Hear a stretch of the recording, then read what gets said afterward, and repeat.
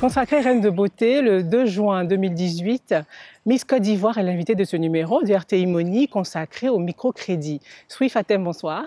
Bonsoir Justine. On parlera de microcrédit parce que vous êtes aussi une chef d'entreprise. Mais avant, dites-nous, quel est votre rapport à l'argent? Déjà, Miss Côte d'Ivoire n'est pas synonyme de million. Voilà. Ça dépend des objectifs et de la vision. Voilà, c'est ce que je peux dire. Mais est-ce qu'on gagne beaucoup d'argent subitement quand on, est, Ben non, quand on devient. Miss Côte d'Ivoire C'est vrai qu'après, on a la récompense, euh, des prix, des lots, un peu des dons partout, machin.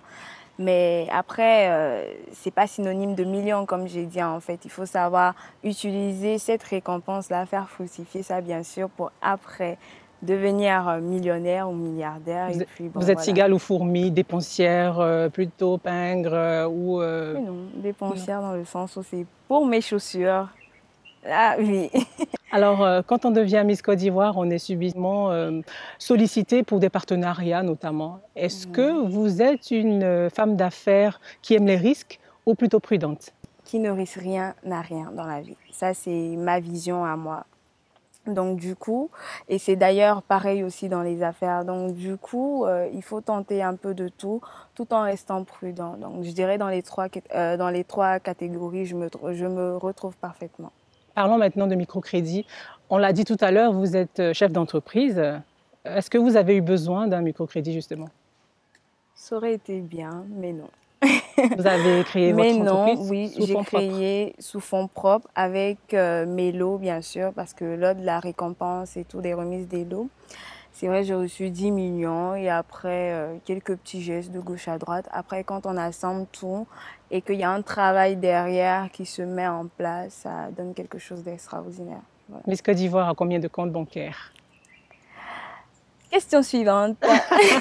Alors, est-ce que vous avez déjà essayé d'obtenir un crédit euh, classique? J'ai jamais essayé. N'empêche que ça pourrait peut-être euh, m'être avantageux plus tard, mais pour le moment, non. On parle beaucoup d'inclusion financière et d'entrepreneuriat féminin. Est-ce que vous pensez que dans notre pays, c'est facile pour une jeune femme comme vous d'entreprendre? Oui, du moment où tout le monde a ses chances, voilà, je me dis c'est facile. Et après, ça reste une question de vouloir, c'est pouvoir, c'est pouvoir. Donc si on aime quelque chose, qu'on est passionné, qu'on décide de le faire avec le cœur, automatiquement, et surtout, surtout euh, le courage, automatiquement, on arrive à se faire une place et après monter les échelons tout doucement, tout doucement, tout doucement. Donc, il n'y a aucune barrière, euh, Non, a pas d'obstacle Pour à moi, non. Sinon, euh, je me serais concentrée que sur mon titre hein, de Miss Côte d'Ivoire.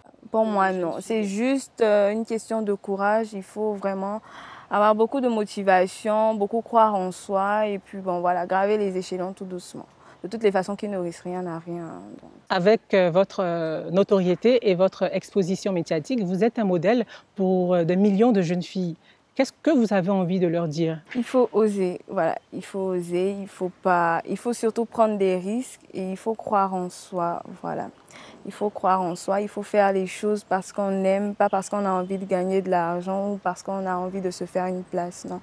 Il faut faire les choses parce qu'on aime et c'est ça en fait qui va déterminer le futur plus tard.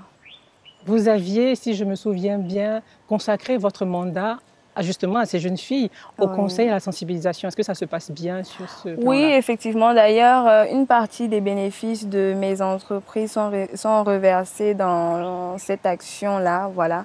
Après, on y travaille toujours. Non, pas encore, mais on y travaille toujours avec le comité. Comment utiliser ces sous-là pour faire quelque chose de bien. Et surtout, pas seulement que pendant le mandat, après le mandat toujours, parce que c'est quelque chose que j'ai j'ai décidé de le faire et je veux le faire entièrement. Donc, on y réfléchit surtout. Mais n'empêche que une partie des bénéfices sont reversés voilà, dans cette partie-là.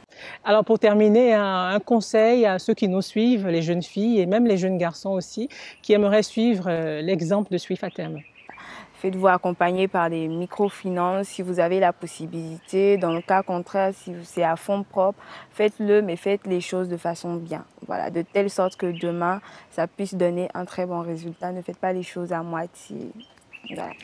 Merci Swifatem d'avoir sublimé le plateau d'RTI Moni. Merci Justine. Ce nouveau numéro d'RTI Moni est à présent terminé. Merci de l'avoir suivi. Je vous souhaite une belle soirée avec la suite des programmes sur RTI 1.